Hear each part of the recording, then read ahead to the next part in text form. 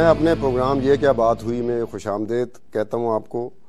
Western media اکثر کہتا رہتا ہے university of Jihad and father of Taliban میں آج اسی یونیورسٹی آف جہاد میں اسی فادر آف طالبان کے ساتھ بیٹھا ہوں، جن کا انتخاب میاں محمد نواز شریف صاحب نے ایک ایسے مقصد کے لیے کیا ہے کہ جس کے مقصد جس مقصد کی وجہ سے ہمیں اس خطے میں کوئی امن کی ایک امید پیدا ہوتی ہوئی نظر آئے گی۔ تو مولانا سمیع الحق صاحب مولانا صاحب، آپ یہ بتائیے، یہ بارہ تیرہ سال میں جب سے طالبان کی حکومت ختم ہوئی افغانستان میں، کبھی کہیں کسی وقت میں آپ کے ٹیلی فون پہ کوئی نمبر بجا ہو نامعلوم مقام سے، نامعلوم نمبر سے، اور آپ نے اٹھا لیا ہو، اور آپ نے ہیلو کر دیا ہو، اور جو دوسری طرف لائن کے دوسری طرف ہو، اس اس نے پشتوں میں آپ کو مخاطب کیا ہو کہ استاد محترم، میں ملا عمر بول رہا ہوں میں اپنے استاد کی خیریت دریافت کرنے کے لیے فون کیا اور میں بھی خیریت سے ہوں اور انشاءاللہ فتح حق کی ہوگی۔ کبھی ایسا اتفاق نہیں ہوا ایسا اتفاق تو نہیں ہوا۔ سکوت کابل کے بعد ان کے لوگ ہیں اور سیکنڈ لوگ بڑے بڑے علماء ہیں شاگرد ہیں۔ جی۔ ان سے خیر خیریت معلوم ہوتی رہتی ہے اور براہ راست وہ کسی سے شاید مخاطب نہیں ہوئے۔ اچھا۔ زیادہ سے زیادہ وہ کسی الیکٹرانک میڈیا کے ذریعے کوئی پیغام بیچتے ہیں؟ اپنے لوگ لیکن آپ کو ذاتی حوالے سے ذاتی طور پہ انہوں نے کبھی کوئی میسج کوئی پیغام دیا ہو کہ استاد محترم کو میں پیغام دے دوں میں خیریت سے یہ صورت تو نہیں آئی۔ البتہ سارے لوگ ان کے ہائی کمان جو ہے ان کے مجلس شورا کے لوگ ان سے باتیں ہوتی رہتی ہیں سب کچھ معلوم ہوتا رہتا ہے۔ خیریت بھی ان کی ہو۔ اچھا کوئی اندازہ کوئی خیال کہ کہاں پہ ہو سکتے ہیں امیر المومنین؟ یہ جو دائیں بائیں سے آپ سے آپ سے رابطے میں لوگ ہوتے ہیں۔ یہ اندازے سے باتیں ہیں اندازہ یہ ہے کہ وہ اپنے ہی علاقے میں ہیں۔ کندار کے ارد گرد۔ کندار کے ارد گرد ہے اپنی قومی وزن اس کا بہت زیادہ ہے۔ اس وجہ سے وہ وہاں پر آپ سمجھتے ہیں وہ وہاں پہ محفوظ ہیں۔ جی ہاں کرزئی بھی اتنی جرت نہیں کر سکتا کہ اس کو پریشان کرے۔ گا صرف اس وجہ سے کہ وہ ان کا ایریا ہے وہ ان کا علاقہ ہے جہاں پر ان کا ہے۔ قومیتیں ہیں۔ اور اس کے پشت پر کھڑے ہوتے ہیں، کوئی حکمران وہاں اتنے بڑے قوم کو اس طرح ڈسٹرب نہیں کر سکتا، اس کو اپنی زندگی خطرے میں بن جاتی ہے پھر۔ اچھا حضرت یہ بتائیے کہ اس پیس پروسیس کی بات، جو امن مذاکرات کی بات ہے، یہ اس وقت سے شروع ہے جب میاں نواز شریف صاحب اقتدار میں آئے تھے۔ یہ مئی کا غالباً مہینہ تھا۔ پانچ چھ مہینے ہو گئے اس بات کو۔ اے پی سی بھی ہو گئی، امن مذاکرات کی بات بھی چل گئی۔ اور پھر حکومت کی طرف سے یہ بیانات آتے رہے کہ ہم طالبان کے ساتھ رابطہ کر رہے ہیں، رابطے میں ہیں، میسج چلا گیا ہے۔ پانچ چھ مہینے میں طالبان کی طرف سے ریبٹل آیا کہ ہم ہم سے کوئی رابطہ نہیں کیا گیا۔ تو آپ کیا سمجھتے ہیں کہ آپ کے انتخاب سے پہلے کچھ اور لوگوں کا انتخاب کیا گیا ہو؟ کچھ اور لوگوں کو لانچ کیا گیا ہو؟ اور نتیجہ نہ نکلا ہو تو پھر آپ کی طرف آ گئے ہوں۔ وہ تو الیکشن کے بعد نہیں، بلکہ الیکشن سے پہلے بھی وعدے کرتے رہے۔ کہ یہ جنگ ختم کراؤں گا اور یہی آپشن ہے مذاکرات کا۔ میری ساری توجہ اسی پر مبزول ہوگی۔ لیکن پانچ چھ مہینے پھر خاموشی اختیار کی گئی۔ اور خفیہ چینل اگر انہوں نے کچھ آزمائے ہوں گے تو اللہ کے علم میں ہے۔ یہ آپ کے علم میں بات نہیں آپ سے پہلے کسی کو لانچ کیا گیا ہو کسی ایک شخص کو یا کسی لیکن وہاں سے میں پوچھتا تھا کہ کوئی سنجیدگی سے کوئی کوششیں ہو رہی ہیں۔ آپ سے باضابطہ کوئی تو جواب آیا کہ نہیں؟ بالکل۔ تقریباً چھوٹے بڑے سب گروپوں نے کہا کہ ہمارے ساتھ کوئی رابطہ ہی نہیں ہے صرف اخباری بیانات ہیں۔ پھر میں خاموش رہا کہ میاں صاحب کو موقع مل جائے وہ کوئی بیک ڈور پالیسی چلائیں گے۔ لیکن یہ میں نہیں چاہتا تھا کہ خود اس کے پاس جاؤں۔ بیانات دیتا تھا مستقل۔ ہمارا پاک ڈیفنس کونسل مستقل لگا رہا۔ دھرنے بھی دیتے رہے۔ ابھی قومی جرگہ کیا پشاور میں۔ آپ نے کوئی اشارہ اندیا دیا کہ مولانا سمیع الحق کچھ کر سکتا ہے۔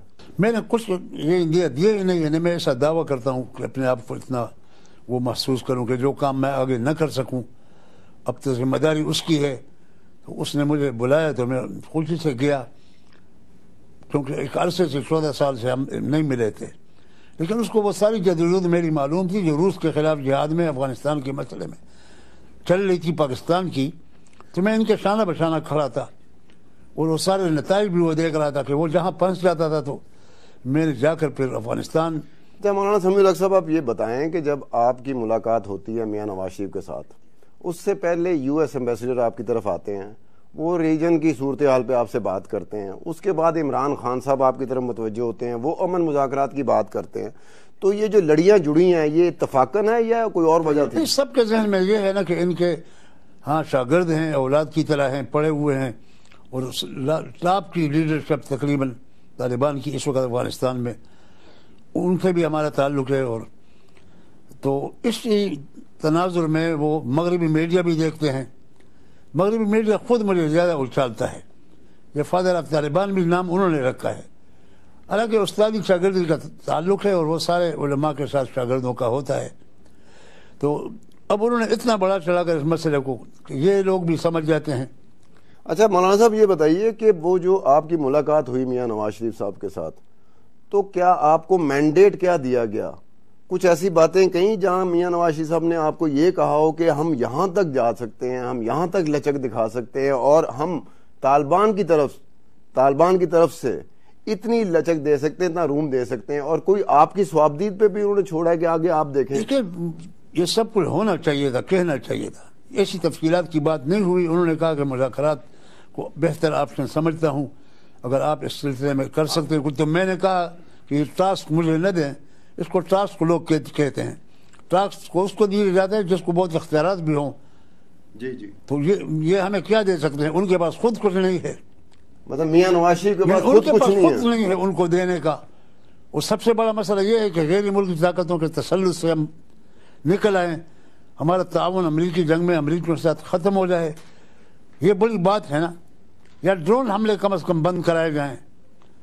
نہیں مولانا صاحب امریکہ کو کہا جائے کہ ہمارے ان مذاکرات میں مداخلت مت کرو اور اس کو ہونے دو۔ یہ تینوں باتیں میرے اندازے میں یہ بے بس ہیں اس میں۔ میاں صاحب نے کہا کہ میں یہ بے بس ہیں اور آپ کا انہوں نے انتخاب کر لیا کہ آپ اپنا انفلوئنس استعمال کریں اپنا اثر رسوخ استعمال کریں تو یہ پھر یہ تو پھر رسمی کاروائی سی لگ رہی ہے۔ دیکھیں اللہ اس کو یہ رسمی ہو یا کوئی نتیجہ تو بہتر آ جائے کم از کم ان کی مطالبات لیکن آپ اپنی طرف سے سنسیر ایفرٹ کریں گے۔ میں یہ عبادت سمجھتا ہوں مسلمانوں کی خون ریزی بند ہو۔ ایک انسان کی انسانیت بچانا اللہ فرماتا ہے کہ کارنما احیان الناس جمیعہ پورے بڑی نو انسانیت کی۔ یہ تیس پینتیس سال پہ ہم پر یہ مذہب مسلط ہے۔ تو میں چاہتا ہوں کہ اس میں جو قدم بھی اٹھاؤں تو وہ بھی ایک جہاد کا حصہ اچھا مولانا صاحب یہ ویسٹرن میڈیا یہ ویسٹرن میڈیا کہہ رہا ہے آپ کے بارے میں یہ پھر عمران خان صاحب آ رہے ہیں یو ایس ایمبیسڈر آ رہا ہے پھر وزیر اعظم صاحب نے خود آپ کا انتخاب کیا۔ آج میں نے اپنی زندگی کا پہلا پہلا انٹرویو کر رہا ہوں میں نے بھی آپ کا انتخاب کر لیا۔ اگر آپ کہتے ہیں کہ آپ کی سوابدیب پہ کیونکہ ان وہ خود بے بس ہیں تو آپ کی سوابدیب پہ انہوں نے کیا چھوڑنا ہے؟ آپ یہ بتائیے کہ آپ خود سمجھتے ہیں کہ آپ کا انفلوئنس افغان طالبان یا پاکستانی طالبان پہ ہے اتنا کہ آپ کوئی پیش رفت کر سکے وہ جن حالات میں ہیں جو بھی جائے گا میں جاؤں یا کوئی کون سا چینل استعمال ہو پورے پاکستان کے علماء جائیں۔ نہیں میں اس وقت مولانا سمیع الحق صاحب کی بات تو وہ یہی کہیں گے نا کہ ہمارا تو مسئلہ یہ ہے بحران یہ اس وجہ سے ہے کہ تم غیر ملکی طاقتوں کا ساتھ مت دو۔ اور اس سے الگ ہو جاؤ، جو ہو گیا سو ہو گیا، یہ پہلا مطالبہ ہوگا۔ اس زمین میں ڈرون حملے بند کرا دو۔ تو یہ یہ چیزیں تو میرے نظر میں ان کے بس میں نہیں ہیں۔ میں ان کو یہی کہتا ہوں کہ پاورفل ہو جاؤ پہلے خود۔ جی مولانا سمیع الحق صاحب فرما رہے ہیں کہ میاں نواز شریف صاحب لگتا ایسا ہے کہ وہ خود بے بس ہیں۔ اور جب وہ خود بے بس ہیں تو کسی کو کیا دے سکتے ہیں؟ جب وہ کسی کو نہیں دے سکتے تو کسی سے لے بھی نہیں سکتے۔ اسی اسی موضوع پہ گفتگو جاری رہے گی وقفے کے بعد۔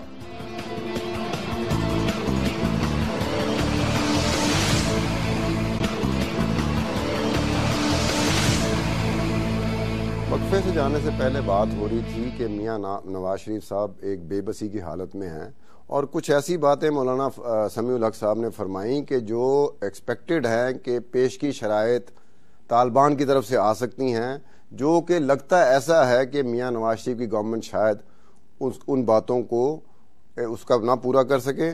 مولانا صاحب، آپ فرما رہے تھے کہ ہو سکتا ہے کہ جو ایک دو باتیں آپ نے کی ہیں کہ یہ پیش کی شرائط ہو سکتی ہے مذاکرات شروع ہونے سے پہلے طالبان کی طرف سے، کہ ڈرون حملے نہ کرائے جائیں، آپ ان کے وار آف ٹیرر سے نکل جائیں، اپنی انڈیپینڈنس دکھائیں۔ تو کیا مولانا صاحب، ایسا نہیں لگتا کہ کیا طالبان کو یہ نہیں پتا کہ پاکستانی حکومت اس معاملے میں خود بے بس ہے؟ تو اگر وہ ایسے مطالبے کریں گے تو اس کا مطلب ہے کہ مذاکرات تو شروع ہونے سے پہلے ہی ختم ہو جائیں گے۔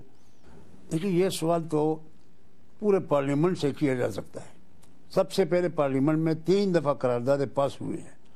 یہی جو طالبان کے مطالبے ہیں، یہی مطالبے ہمارے قراردادوں میں ہوئے ہیں کہ یعنی یو ٹرن لو، پالیسیوں پر نظر ثانی کرو اور ڈیولپمنٹ کرو، ڈائلاگ کرو، یہ تھری ڈیز اسمبلی میں ہم نے بھی پیش کی، پورے پارلیمنٹ میں دوبارہ قرارداد آیا، پھر تیسری دفعہ آیا، پھر گیلانی صاحب کی اے پی سی میں بھی یہی بات ہوئی۔ اب بھی نواز شریف نے جو اے پی سی کرایا، میں سمجھتا ہوں ان سب چیزوں کی ضرورت نہیں تھی۔ میاں صاحب نے آتے ہی پارلیمنٹ کی بالادستی کو بحال کرنا چاہیے تھا کہ پچھلے آٹھ دس سالوں میں پارلیمنٹوں نے جو یہی مطالبے کیے ہیں، اس کو ڈسٹبین میں ڈال دیا گیا۔ اس پر نظر ثانی نہیں شروع ہوئی۔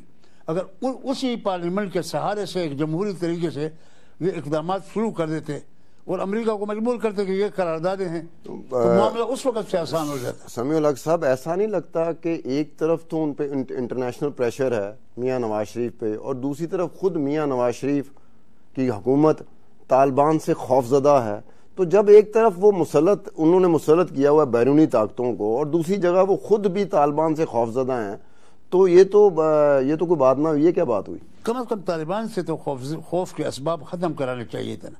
کیا کرنا چاہیے وہ سمجھ جاتے ہیں کہ یہ پالیسیاں اب چینج کر رہا ہے کچھ تبدیلی محسوس کرنا چاہتے ہیں۔ میاں صاحب نے کہا کہ میری پالیسیوں میں ان کے پالیسیوں میں فرق نظر نہیں آ رہا آپ لوگوں کو۔ میں نے کہا بظاہر تو فرق نظر نہیں آ رہا۔ یہ میاں صاحب نے آپ سے پوچھا کہ ان کو جو پالیسیز میں لا رہا ہوں ان کو یہ فرق محسوس نہیں کر رہے۔ یعنی ہم سب لوگوں کا آپ کو فرق محسوس ہونا چاہیے۔ میں نے کہا اس میں سوائے اس بات کے کہ آپ نے کہا بھی کہ میں اوباما کے پاس گیا اور میں نے اوباما سے دو ٹوک انداز میں مطالبہ کیا کہ یہ بند کرو اس کی مذمت کی اور میں نے ان کو کہا کہ یہ ایسی نہیں چلے گی دوستی۔ تو یہ فرق اب محسوس کیا آپ سمجھتے ہیں کہ میاں نواز شریف صاحب نے ایسے ہی اسی لبو لہجے کے ساتھ اوباما سے ہاں، بات کی ہوگی؟ یہی کہا۔ پھر بعض لوگوں نے سوال بھی اٹھایا کہ اس اعلامیہ میں تو اس کا ذکر ہی نہیں تھا۔ تو میں نے کہا اعلامیوں میں ہم بے بس ہیں، بڑی طاقت جو خود اعلامیہ بناتی ہیں. اس نے کہا ہوگا، کافی لوگوں نے کہا کہ ہاں اس نے مذمت تو کی۔ طالبان کتنے سنجیدہ ہیں مذاکرات کے معاملے میں، کیونکہ ان کی طرف سے بھی ابھی تک کوئی ایسا جیسچر نہیں آیا جہاں سے یہ گیج کیا جا سکے کہ کم از کم اگر یہ بیرونی طاقتوں کے مسلط میں ہیں، تو طالبان تو کہیں کسی فورسز کے مسلط میں تو نہیں ہے دیکھیے طالبان کی طرف سے دبے لفظوں میں بھی اور کھلے لفظوں میں بھی بعض دفعہ ذکر آیا، ایک دفعہ دو تین آدمیوں کا نام بھی لیا گیا کہ ایک گارنٹر بنے۔ اس وقت میاں نواز شریف صاحب اقتدار میں نہیں تھے اور ان پر ان کا اتنا اعتماد تھا کہ وہ اس کا نام اس میں شامل کیا۔ لیکن اس وقت بھی حکمرانوں نے کوئی سنجیدگی سے ان کے پیشکش کو نہیں لیا۔ اور اب دوبارہ بات چل رہی تھی یا نہیں چل رہی تھی، لیکن ذہن بنے ہوئے تھے کہ اچانک پھر امریکہ نے ڈرون حملہ کر کے ان کے لیڈر کو شہید کر دیا۔ تو وہ تو غصے میں اور اس حالت میں ہے کہ وہ تو نام سننا نہیں چاہتے۔ اچھا مولانا صاحب یہ بتائیں کہ کرانا ہوگا کہ ہم ایسے نہیں ہیں۔ نہیں اعتماد بحال کیسے کرانا چاہیے؟ کم از کم ہماری فوج تو ان پر حملے نہ کرے۔ ڈرون حملے اگر چلتے ہیں لیکن پاکستانی فورسز آپریشن نہ کریں تو طالبان ماننے تک آ جائیں گے؟ مشکلات تو پھر بھی ہوں گے اس پر حکومت کو اور فوج کو ایک صفحے پر آ کر سختی سے مطالبہ کرنا چاہیے کہ ہماری دوستی اب مزید نہیں چلے گی۔ ایک دفعہ کھیت ہو دے نا۔ یہ ایک صفحے پہ ہیں دونوں۔ اللہ کرے کہ ہیں ہوں۔ مجھ سے اگر کوئی بات کرے گا تو میں کہتا ہوں کہ کم از کم مجھ سے ایک صفحے پر ہو جاؤ۔ مجھے سمجھا دو کہ تمہارے اگر آپ کے ساتھ وہ ایک صفحے پہ نہیں آ سکے آپ نے آپ نے کوششیں آپ نے کوششیں شروع کی ہیں آپ نے کوئی میسج بھیجا ہے آپ کے کوئی بندے گئے ہیں جنوبی وزیرستان؟ کل تو بات کری ہے اچھا۔ اور مسلسل میں ان حالات میں ہوں میڈیا کو ناراض بھی نہیں کر سکتا ہوں۔ مطلب اس وقت سمیع الحق صاحب جن کا انتخاب ہوا ہے اچانک وہ نیشنل و انٹرنیشنل میڈیا کا محور بن گئے ہیں۔ محور بننے سے کیا ہوتا ہے؟ اللہ کرے کوئی نتیجہ نکلا ہے مثبت۔ اب ہمیں شہرت وغیرہ کا دور گزر گیا ہے کافی جو اللہ نے عزتیں دی ہیں۔ میں کہتا ہوں ہم سے اللہ تعالیٰ توفیق دے کہ کچھ کر جائیں اس ملک کے لیے اور اس آگ کو بجانے کے لیے۔ اچھا مولانا صاحب آپ محسوس کرتے ہیں کہ پچھلے کچھ عرصے سے کوئی یہ خودکش حملہ کم ہو گیا اس کی شدت میں کمی آئی ہے؟ کوئی محسوس کرتے ہیں؟ اگر شدت میں کمی آئی ہے تو اس کی وجہ کیا ہو سکتی ہے؟ شدت میں کمی آئی ہے وہ بھی تو آخر ان حالات سے آخر تنگ ہوں گے نا جنگ میں کس کو فائدہ ہے؟ یعنی کہ آپ آپ کہتے ہیں کہ جو شدت میں کمی آئی ہے یہ ان کے تنگ ہونے کی نشانی ہے۔ اس کی وجہ سے نہیں وہ انتظار بھی کر رہے ہیں۔ کہ ہمارے طرف سے کم از کم کوئی دروازہ کھل جائے، کوئی مفاہمت کا، کوئی بات چیت کا، کیونکہ وہ آغاز ہو گیا تھا بیچ میں، حادثہ آیا، تو اگر یہ اعلان کرتے ہیں کہ ہم مذاکرات کی طرف جا رہے ہیں، کسی دبے لفظوں میں کہہ بھی رہے تھے، مجھ سے ملنے پھر سے پہلے بھی قطن دروازہ بند نہیں کیا تھا، تو وہ اس انتظار میں ہوں گے کہ خون خرابی نہ ہو۔ ورنہ فوجی آپریشن میں کون خوش ہوتا ہے فوجی ان کی بھی تباہی ہے پاکستان کی بھی تباہی ہے آپ کتنی اس بات پہ صداقت سمجھتے ہیں کچھ ہلکے یہ کہتے ہیں کہ یہ مذاکرات کی جتنی بھی بات چل رہی ہے یہ ایک رسم سی ہے جس کو ادا کیا جا رہا ہے کیونکہ اس کے بعد جو ایک دوسری آپشن ہے آپریشن کی وہ کوئی بہت بڑا آپریشن ہونے والا ہے لیکن اس سے پہلے ایک رسم ادا کی جا رہی ہے تاکہ فیس سیونگ کے ہو کہ ہم نے مذاکرات کے لیے کوشش کی تھی۔ دیکھیے دلوں کا حال تو اللہ تعالیٰ کو معلوم ہے لیکن میں بھی یہ سب خدشات محسوس کرتا ہوں۔ یہ نہ ہو کہ اس کو بھی ایک بہانہ بنا دیا جائے حملہ کرنے کا۔ آپ جہاں تک آپ کی معلومات ہیں آپ کیا سمجھ رہے ہیں کہ یہ مذاکرات شروع ہو کے ناکام ہوں گے یا مذاکرات سرے سے شروع ہی نہیں ہو سکیں گے؟ پہلے مرحلے پہ ان سے یہی میں پوچھتا ہوں نا کہ مذاکرات کے لیے آپ تیار ہیں اور تیاری کے لیے کیا آپ شرائط رکھتے ہیں؟ پھر آپ کے بنیادی مطالبات کیا ہوں گے؟ مولانا فضل الرحمان صاحب کی جماعت کی طرف سے ایک بیان آیا کہ جس میں انہوں نے اپنے خدشے کا اظہار کیا ہے کہ کسی ایک انڈیویجول پر کسی ایک پر اتنی ذمہ داری نہ ڈالی جائے بلکہ جرگے کو انوالو کیا گیا جائے۔ تو ہم ان جرگوں سے بھی بات کریں گے۔ اب بھی ایک جرگہ ہم نے کیا پشاور میں، دفاع پاکستان کونسل نے۔ ہزار بارہ سو لوگ اس میں تھے، اسی علاقوں کے علماء بھی تھے۔ مولانا کی کوئی قبائلی جرگہ ہوگا۔ تو مل جل کر ہمیں یہ نہیں سمجھنا چاہیے کہ یہ کام مل پوائنٹ سکورنگ اس سے ہٹ کر ان معاملے میں اخلاص سے مطلب آپ کہہ رہے ہیں کہ پوائنٹ سکورنگ نہیں ہونی چاہیے۔ نہیں ہونی چاہیے کیونکہ اس کے علاوہ کسی اور جماعت کی طرف سے بیان نہیں آیا اس قسم کا۔ سب کی طرف سے خیر مقدم آیا ہے الحمدللہ۔ کہ ایسا کیوں لگ رہا ہے کہ مولانا فضل الرحمان صاحب بھی آپ کے ایک ہی جماعت تھی یہیں کے یہیں کے اسٹوڈنٹ رہے ہیں نو سال۔ یہاں رہے ہیں۔ تو یہ کیا ہوا کہ کچھ ایسا دیکھنے میں آیا کو محسوس کیا گیا کہ مولانا فضل الرحمان جو سیاسی طور پر اپنے آپ کو مضبوط سے مضبوط تر کرتے گئے اور حلقوں کی سیاست میں بھی اپنے آپ کو مصروف رکھا۔ آپ کی کیا مجبوری تھی کہ آپ نے حلقوں کی سیاست سے اپنے آپ کو دور دور رکھا یا درس و تدریس میں آپ اتنے مصروف ہو گئے؟ کیا آپ کا دھیان نہیں جا سکا؟ ہمارے نزدیک جمعیت علماء اسلام ایک نظریاتی جماعت ہے۔ یہ نظریہ شاہ ولی اللہ سے اور شاہ عبدالعزیز سے شیخ الند سے شروع ہوا ہے۔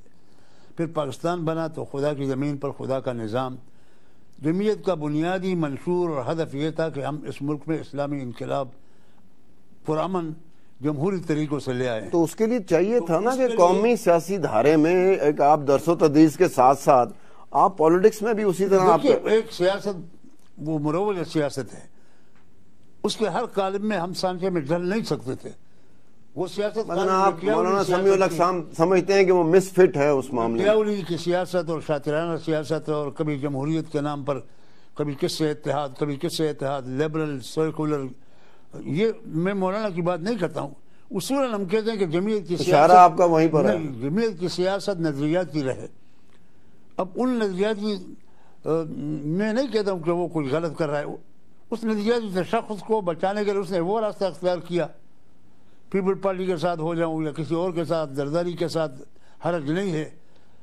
اور عورت کی حکمرانی آئے یا جو بھی آئے ہمارے ہاں ہمارے بزرگوں میں مولانا صاحب فرما رہے تھے کہ سیاست میں اور حلقوں کی سیاست میں انہوں نے دلچسپی اس لیے نہیں دی کہ وہ اس سسٹم میں اپنے آپ کو مسفٹ سمجھتے تھے اور دوسرا جو طبقہ تھا اس نے ہر طرح کی اتحاد بنایا چاہے وہ سیکولر پارٹی ہو چاہے لبرل پارٹی ہو چاہے لیفٹ کی پارٹی ہو چاہے فوجی حکمران ہو۔ تو شاید وہ کہتے ہیں شاطرانہ قسم کی سیاست ہے، اس کا میں حصہ نہیں بننا چاہتا۔ اسی بات پہ ہم وقفہ لیتے ہیں اور وقفے سے واپسی پر مولانا صاحب سے کچھ مذاکرات کے حوالے سے اور بات کریں گے۔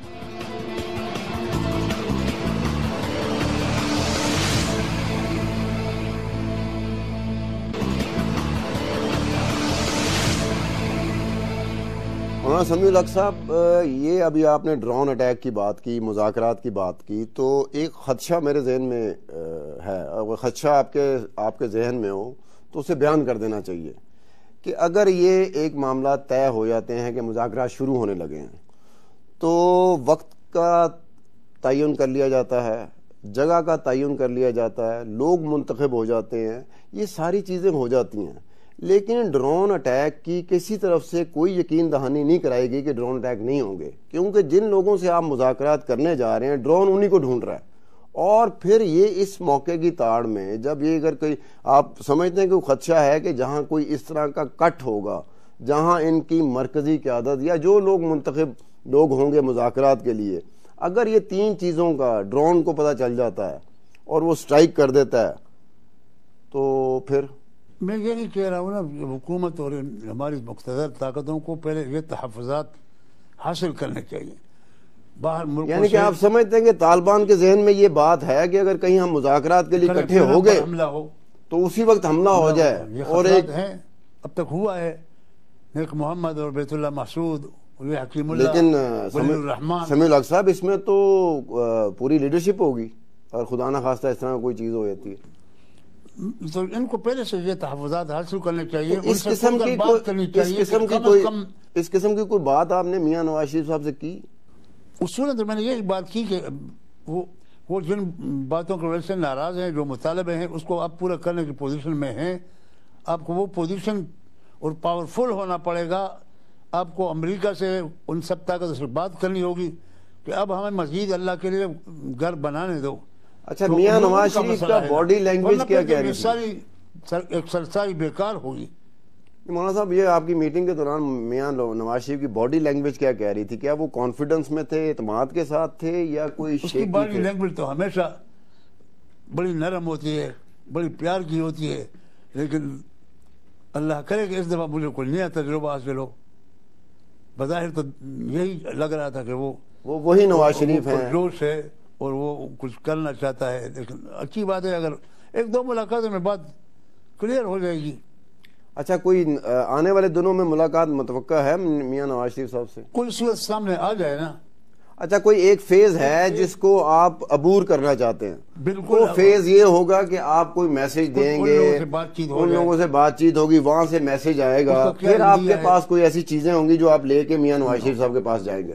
اور اگر یہ نہیں آئے گا تو پھر میاں صاحب سے کون سی بات کروں گا؟ ابھی تو کچھ معلوم ہو جائے نا۔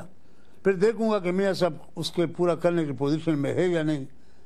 اگر اس پوزیشن میں نہیں ہے تو طالبان کو میں دھوکے میں یا اندھیرے میں نہیں رکھوں گا۔ اور یہ بھی واضح ہونا چاہیے کہ نہ میں ان کی کوئی ڈیوٹی دے رہا ہوں یا کوئی سیاست کر رہا ہوں۔ نہیں آپ کا انتخاب تو ایک بہت بڑے مقصد کے لیے گیا۔ اگر یہ کر رہے ہیں دل و جان سے تو پھر سر سر آنکھوں پر یہ سب۔ اور میں سمجھ گیا کہ یہ سیریس نہیں ہے۔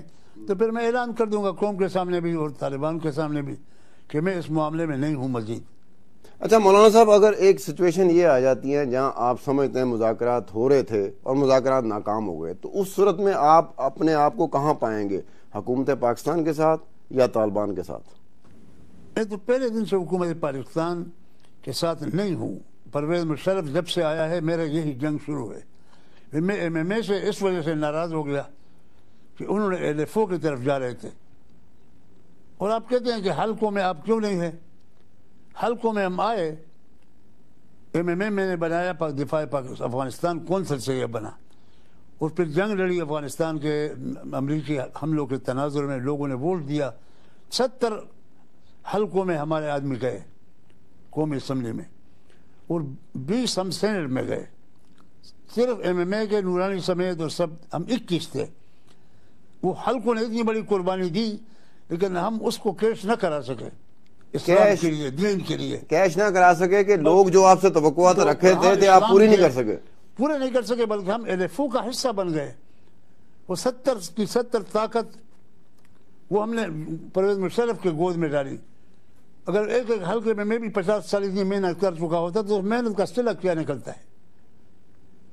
ٹارگٹ یہ ہے کہ ہم اس ملک کا نظام تبدیل کریں۔ جمہوریت جمہوریت کے ڈنڈورا پیٹتے ہیں اور کہتے ہیں کہ جمہوریت کے ہمیں مار رہا ہے۔ جمہوریت ہمیں تبدیلی کی طرف جانے نہیں دیتا بالکل۔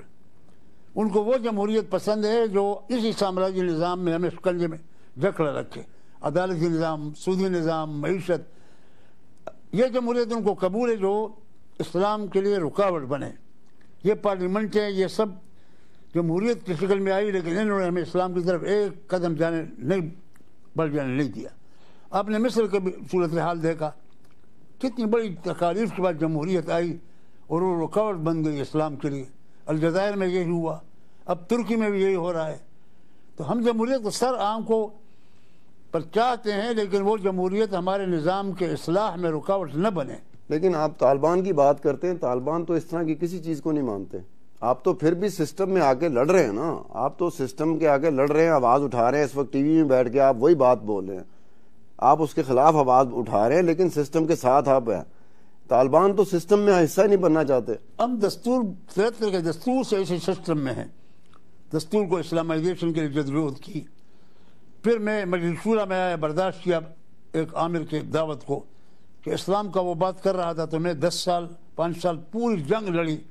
یہ سنگینوں کے حصار میں یہ جنگ تھی۔ اس کی پھر آپ نے محسوس کیا غلطی ہو گئی؟ مگر ایک نتیجہ نہیں نکلتا ہے۔ جدوجہد تو ہو گئی۔ ایک سٹرگل میرا تھا۔ پانچ سال میں نے دار دارالعلوم بنایا مجلس شورا حال کو۔ وہ ساری تفصیلات کتابوں میں ہیں۔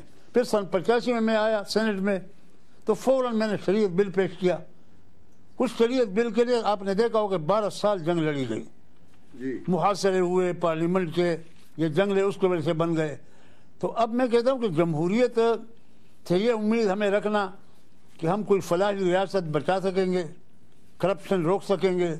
یہ رول کسول یہ تباہی بربادی تو اسی جمہور اور تو ان سے ہم بات کر سکتے ہیں۔ آپ کیا فورسی کر سک کرتے ہیں کہ اگر مذاکرات ہوتے ہیں ناکام ہوتے ہیں یا سرے سے مذاکرات نہیں ہوتے تو آپ پھر کیا فورسی کرتے ہیں؟ کوئی بہت بڑی جنگ ہوگی۔ پھر تو یہ تباہی بربادی ہوگی مذاکرات اگر ہم نہیں کرتے اور فوجی آپریشن کرتے ہیں قوت استعمال کرتے ہیں تو یہ سارے عناصر ملک دشمن عناصر یہ پورے پاکستان میں ہم ان کے علاوہ جو ملک دشمن عناصر غیروں کے ایجنٹ لیکن وہ بھی طالبان کا کور لیتے ہیں۔ ہو سکتا ہے کہ اسی کور میں وہ آئے۔ اب جو بھی حادثہ ہوتا ہے پتہ نہیں ہوتا کہ طالبان نے کیا ہے یا نہیں لیکن فوراً چینل پہ آ جاتا ہے کہ طالبان نے ذمہ داری قبول کر لی۔ ہم حیران لیتے ہیں کہ وہ کون طالبان ہے جو ذمہ داریاں قبول کرتے ہیں۔ تو وہ لوگ اس آڑ میں پورے ملک میں آگ پھیلائیں گے۔ یا ان پر حملہ ہوگا تو یہ بھی پھیلیں گے تو باولپور لاہور فیصل آباد وہاں یہ حالات شروع ہو جائیں گے۔ تو پھر پولیس تو نہیں کنٹرول سے کر سکی۔ پولیس تو یہاں کھڑی رہتی ہے۔ نہیں یہ خود خوش نواز شریف کو کہا کہ آپ پھر فوج کہاں کہاں بھیجیں گے؟ آپ کی فوج ایک ایک شہر میں وہ لڑتی رہے گی اور خانہ جنگی شروع ہوگی۔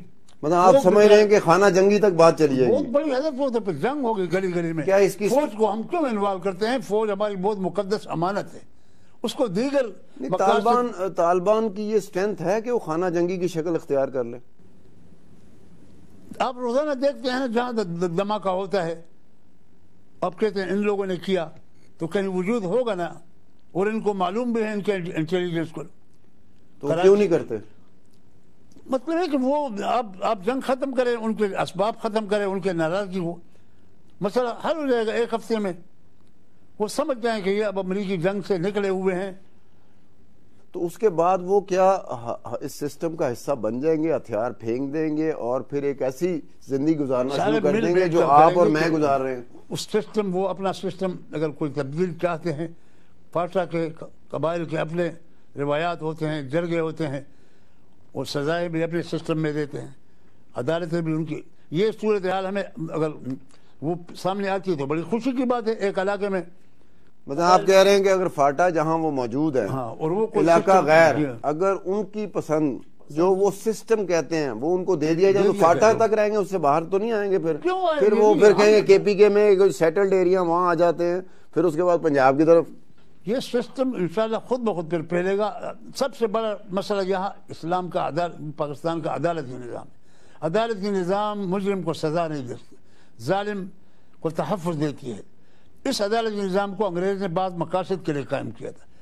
تو یہ عدالت نظام ہم سب چاہتے ہیں نا کہ اس مولانا صاحب کہہ رہے ہیں کہ اگر وہ ایک سسٹم جو جس سسٹم کی طالبان بات کرتے ہیں، اگر وہ ٹرائبل ایریا فاٹا میں رائج کر دیا جائے تو وہ سسٹم ہی اتنا مقبول عام ہو جائے گا کہ خود بخود اس سسٹم کی جو خوبصورتی ہے وہ باقی علاقوں میں پھیل جائے گی۔ وہ اس طریقے سے باقی علاقوں میں نہیں جائیں گے جس طریقے سے ہم سمجھ رہے ہیں کہ شاید وہ خود کو شملہ کر کے ان علاقوں پہ فتوحات حاصل کریں۔ مولانا صاحب سے مزید بات چیت ہوگی بریک کے بعد۔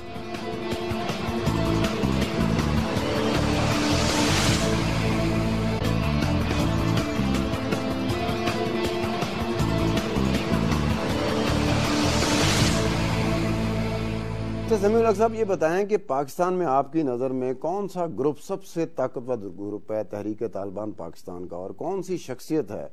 دیکھیں پہلے سے تو یہی مضبوط شخصیت چلی آ رہی تھی بیت اللہ محسود والی نیک محمد نے اس کا آغاز کیا پھر بیت اللہ محسود آیا پھر ولی اللہ ولی الرحمان آیا یہی حکیم اللہ محسود جو آخر میں ان کا امیر تھا تو بڑا گروپ تو یہی ہے۔ تو اب ملا فضل اللہ دیکھیں وہ تو اب نئے اثر جب آیا نا تو انہوں نے اپنے مسلحتوں کے کچھ حالات کی وجہ سے اس کو منظور کیا امارت کے لیے۔ اور شیخ خالد حقانی حقانی۔ وہ آپ کا سٹوڈنٹ ہے؟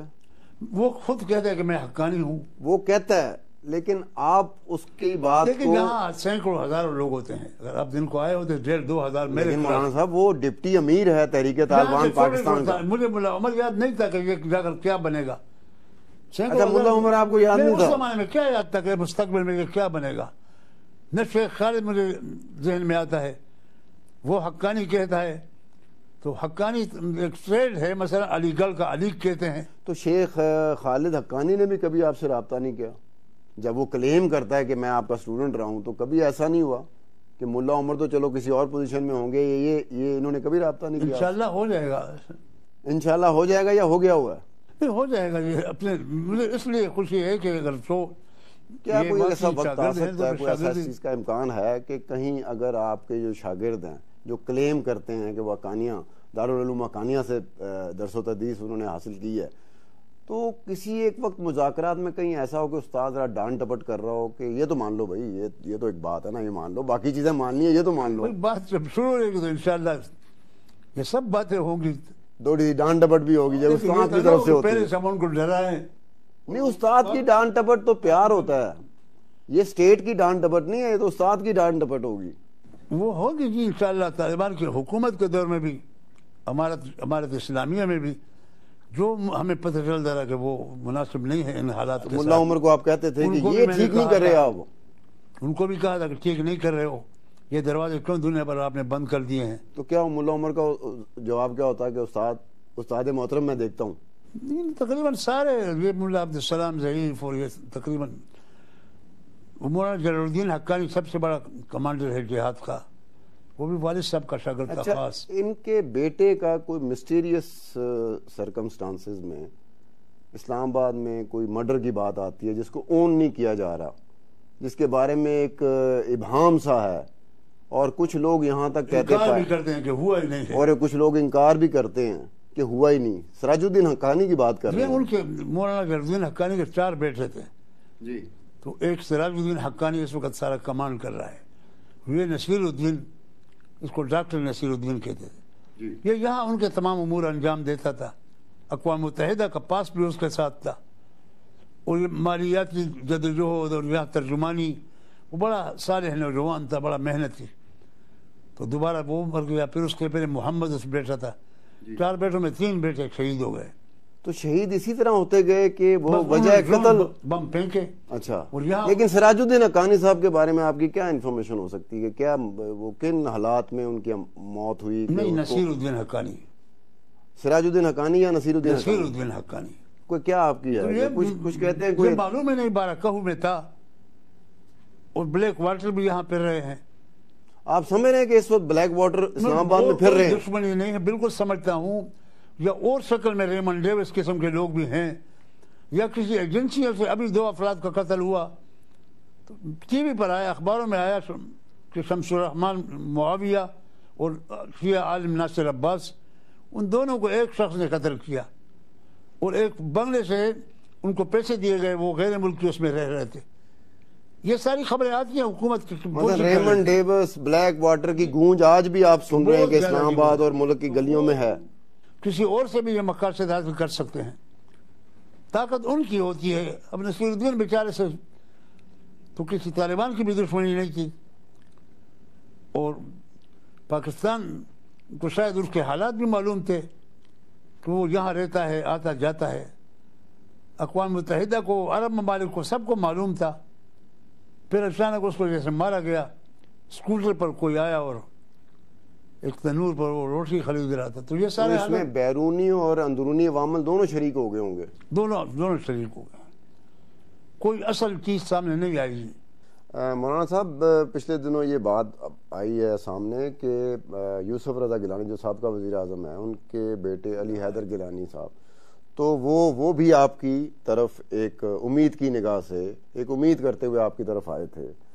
تو اس میں کوئی پیش رفت ہوئی کہ کوئی اس میں کوئی بات آپ کی طرف سے سنی گئی ہے؟ مجھے پتہ نہیں وہ تشریف لائے تھے یہاں اسی کمرے میں۔ اور اولاد کی جدائی اور درد بہت شدید ہوتا ہے۔ ایک باپ کے لیے۔ باپ کے لیے بن تو اس بیچارے پر یہ بہت بڑا حادثہ آیا ہے۔ آپ نے کوئی یقین دہانی رمضان میں مجھے ملا تھا پھر مدینہ منورہ میں۔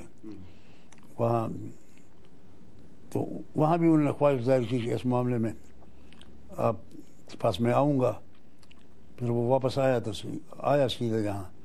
تو پھر میں نے کچھ لوگوں سے ملوایا بھی ان کو رابطے بھی کروائے۔ اور ان لوگوں کیا نکلا؟ ان لوگوں نے امید تو دلائی کہ ہم اس معاملے میں کچھ کرتے ہیں جو ہم سے ہو سکے۔ لیکن خالص وہ نظر نہیں آیا ابھی تک۔ ایک عجیب نظام ہے جو گروپ لے جاتے ہیں وہ اوروں کے حوالے کر دیتے ہیں اور اوروں کے ایک ہاتھ سے دوسرے ہاتھ طالبان کے دوسرے ہاتھ سے تیسرے ہاتھ کوئی اخلاص سے کرنا بھی چاہے تو ہمارے لوگ اس میں بڑے مخلص تھے کہ ہم پوری کوشش کرتے ہیں۔ اچھا اس اسی کانٹیکس میں مولانا صاحب ایک اور بات ہے کہ یہ جو اپنا فورس ہے ان کی دس ہزار ہے پندرہ ہزار ہے بیس ہزار ہے پچیس ہزار ہے تیس ہزار ہے اس کے بارے میں کوئی حتمی بات نہیں کہی جاتی۔ تو اتنی بڑی فورس کو ریز کرنے کے لیے فنڈنگ کہاں سے ہوتی ہے؟ کیا بیرونی کوئی سورس ہے کوئی اندرونی سورس ہے یا یہ خود جنریٹ کرتے ہیں؟ اور کیا کوئی کڈنیپنگ فور رینسم بھی اس کا حصہ بنتی ہے جاگے دیکھتے ایک تو میں اس صورتحال سے بالکل خبر ہوں لینے حقیقت میں مجھے آج تک کوئی ایسی بات معلوم نہیں ہوئی کہ یہ پیسے کہاں سے آتے ہیں۔ چندہ دے سکتے ہیں لوگ ہیں ڈونیشن والے ہوں گے لوگ یا کچھ ایسے عناصر بھی آ گئے ہیں کہ وہ مختلف گروپوں کے شکل میں یہ سازش میں کامیاب کرانے میں لگے ہوئے ہیں۔ تو فنڈنگ کے بارے میں حکومت صحیح معلومات کر سکتی ہے نا یعنی فنڈنگ آتی ہے تو باہر سے آتی ہے۔ اگر حکومت کو نگاہ اس پر نہیں ہے، اور یہ بے سر و سامانی میں بیچارے زیادہ تر وہی روکی سوکھی کھاتے ہیں، غاروں میں رہتے ہیں۔ افغانستان طالبان بھی یہی۔ تو اتنے فنڈنگ کے مفتاج بھی وہ شاید نہیں ہوں گے۔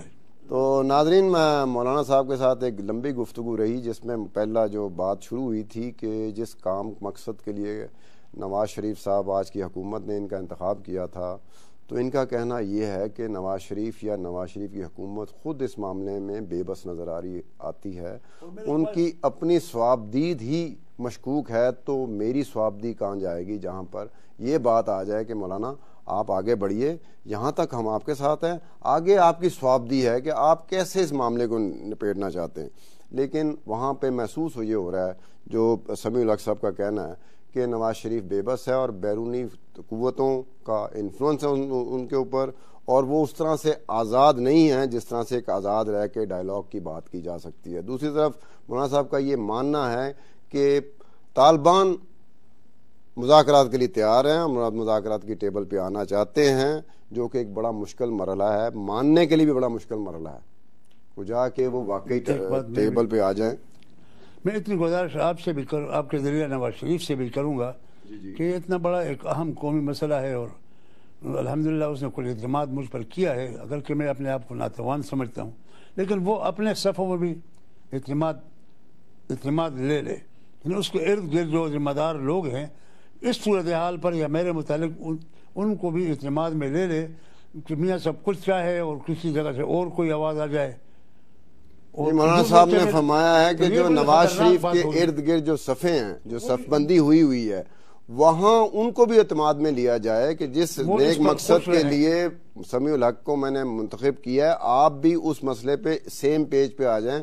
بجائے اس کے کہ ہر کوئی اپنی اپنی طرح سے اس مقصد کے لیے اپنے اپنے بندے ڈھونڈ رہا ہو اپنے اپنے سورسز ڈھونڈ رہا ہو اور اپنی طرح کے کوئی چیزیں لانچ کر رہا ہو تو اس سے پروسیس کو سیبوٹیج ہو سکتا ہے۔ غلط میسج اور طالبان کا غلط میسج چلا جائے گا۔ کوئی ایسی بات ہے جو سمی لوگ صاحب کہنا چاہتے ہیں اور کہہ بھی گئے ہیں بٹوین دی لائن کہ ان کو غلط میسج چلا جائے گا جن کو میسج دینے کے لیے میرا انتخاب کیا گیا ہے۔ تو میں سب کو ساتھ لے کر چلوں گا لیکن اور پر چھوڑ سمی دیں۔ لوگ سب سب کو ساتھ لے کے چلیں گے۔ اس کے ساتھ ہی میں اجازت چاہوں گا آپ سے کل دوبارہ ملاقات ہوگی اسی وقت اسی پروگرام میں۔ خدا حافظ۔